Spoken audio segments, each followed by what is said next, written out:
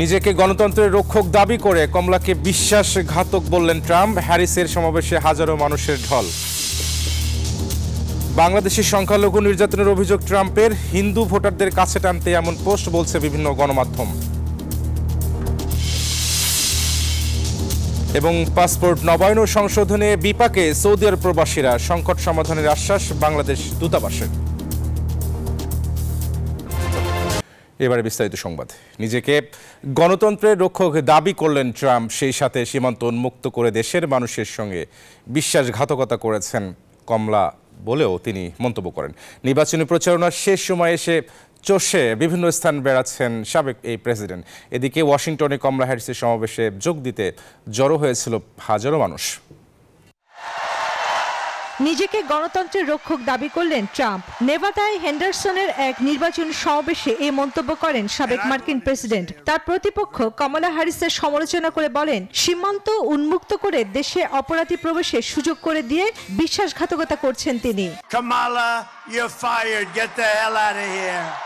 Kamala Harris দেশের মানুষের সঙ্গে চরম বিশ্বাসঘাতকতা করেছেন। সীমান্ত উন্মুক্ত করে দিয়ে অপরাধী প্রবেশের সুযোগ করে দিয়েছেন। এমন নজির আমেরিকার এই নেতৃত্বের ইতিহাসে আর খুঁজে পাওয়া যাবে না। She's never been, there's never been anybody worse on the border. নির্বাচনের শেষ মুহূর্তে নিউ মেক্সিকো এবং ভার্জিনিয়ায় প্রচার সমাবেশ করেন ডোনাল্ড ট্রাম্প।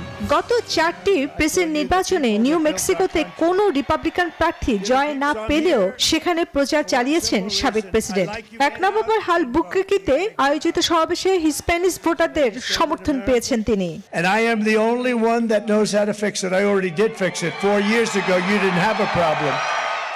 এদিকে অস্থির এবং প্রতিশোধ প্রতিশোধপরায়ণ ডোনাল্ড ট্রাম্প ক্ষমতা গ্রহণের প্রথম দিনই শত্রুদের দমন করার তালিকা তৈরি করছেন। শুক্রবার ওয়াশিংটনের পার্লামেন্ট ভবন এলাকায় নির্বাচনী সমাবেশে এমন অভিযোগ তোলেন Kamala. Donald Trump hand selected three members of the United States Supreme Court Trump ক্ষমতা গ্রহণের প্রথম দিনই শত্রুদের কীভাবে দমন করবেন তার তালিকা তৈরি করেছেন। তার কথাবার্তা ও কর্মকাণ্ডে দেশের জনগণ রীতিমতো বিরক্ত। তাকে কেউ প্রেসিডেন্ট হিসেবে চায় না.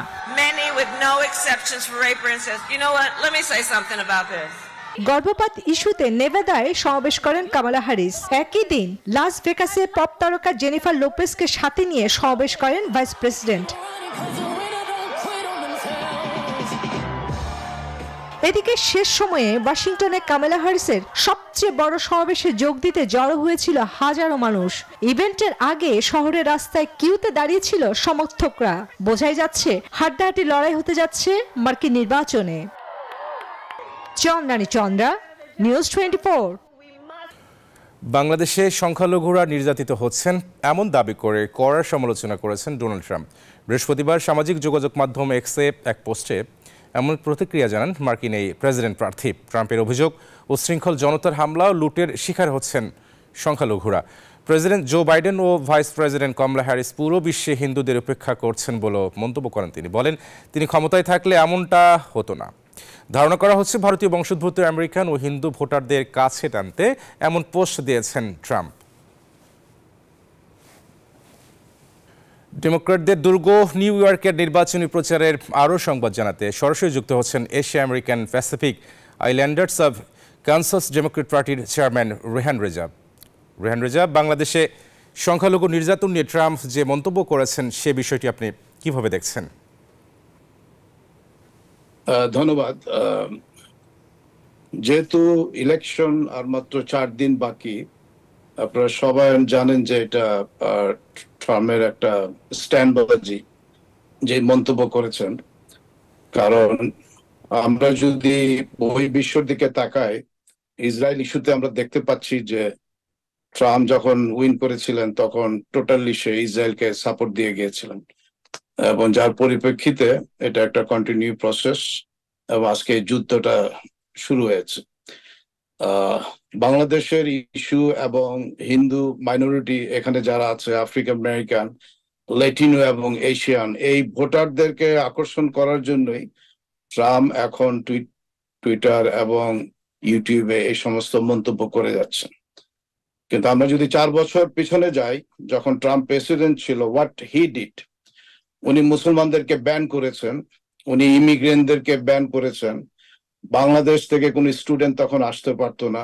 এইচ ওয়ান ভিসা উনি ব্যান করেছেন এবং প্যালেস্টাইনের ইস্যুতে উনি বক্তব্য দিয়েছেন যে এখানে যারা প্যালেস্টাইনি আছেন, তাদেরকেও সে থ্রো করবেন এবং রিফিউজি তাদেরকে পাঠিয়ে দিবেন প্যালেস্টাইনে এবং গাজার ব্যাপারে তার একটা শক্ত ভূমিকা ছিল। And he donate millions millions, billion dollars ওই সময়। তো ইলেকশন যেহেতু আর চার দিন আছে, হাড্ডাহাড্ডি লড়াই হবে এবং সুইং স্টেট গুলোতে যেহেতু আমরা ডিপেন্ড করতেছি এই ইস্যুতে এখন সে আমাদের মাইনরিটি হিন্দুইজম বলেন মাইনরিটি আমরা যারা মুসলিম আছি উনি মুসলমান চার পাঁচটা মিডল ইস্ট কান্ট্রিকে ব্যান করেছিল যখন উনি প্রেসিডেন্ট ছিলেন। সো ট্রাম্পকে ট্রাস্ট করা যায় না ইটস প্রেডিক্ট করা যাচ্ছে যে ইট ইস অল স্ট্যান্ডবাজি এবং ট্রাম্প যা বলছে এখন উনি যদি প্রেসিডেন্ট নির্বাচিত হয়, তারপরে উনি এগুলোকে তার কমিটমেন্ট রাখবে বলে আমরা ধারণা করতে পারি না বিকজ আমরা যদি তার চার বছরের শাসনামল দেখতে পাই আমেরিকাতে এবং সেখানে সে মুসলমানদেরকে উপর সে বিভিন্ন রুলস জারি করেছেন ল্যাটিনো এবং পার্শ্ববর্তী দেশ মেক্সিকোতে সে বর্ডার করবেন এবং অভিবাসীদেরকে সে হাজার হাজার লোকের ডিপোর্টেশন দিয়েছেন।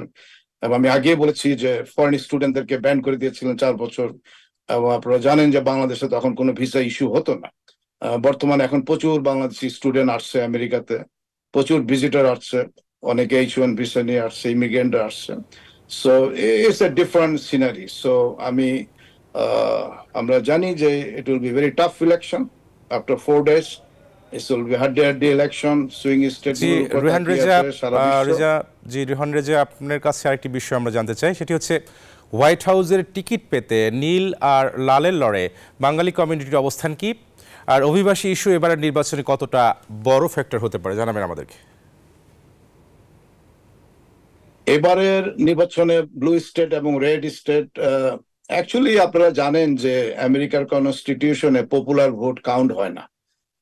আমেরিকার প্রেসিডেন্ট নির্বাচিত হয় ইলেকট্রাল ভোটে সো লাস্ট ইলেকশন আমরা দেখেছি যে হিলারি অনেক মিলিয়ন ভোটে এগিয়েছিলেন, কিন্তু ইট ডাজন কাউন্ট যেহেতু সে সুইং স্টেটগুলো লস করেছিল ইলেকট্রাল ভোটে অভিবাসী এখানে যারা আছে, তারা বিশেষ করে Muslim community six two seven million মুসলমান আছে আমেরিকাতে।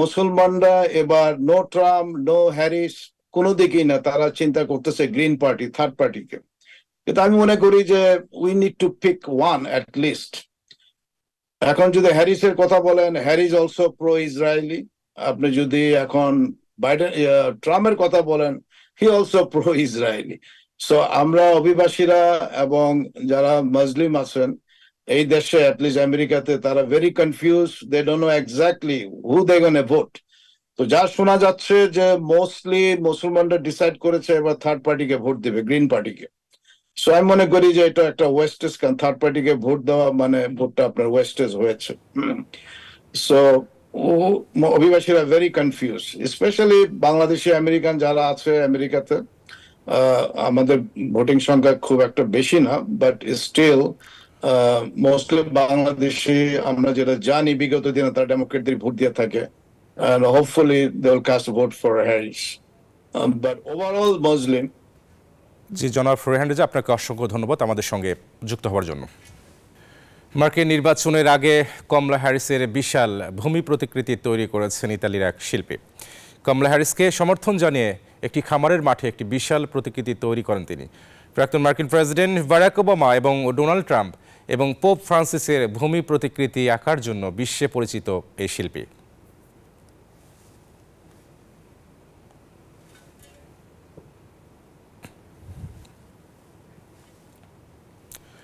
পাসপোর্ট নবায়ন ও সংশোধনের ক্ষেত্রে পদে পদে হয়রানির শিকার হচ্ছেন সৌদি প্রবাসীরা। এতে প্রত্যাশার চেয়ে কম রেমিটেন্স যাচ্ছে দেশে। তবে টেকনিক্যাল কাজ শেষে দেশে পাঠানোর পর দ্রুত প্রবাসীদের বিতরণের কথা জানিয়েছে দূতাবাস।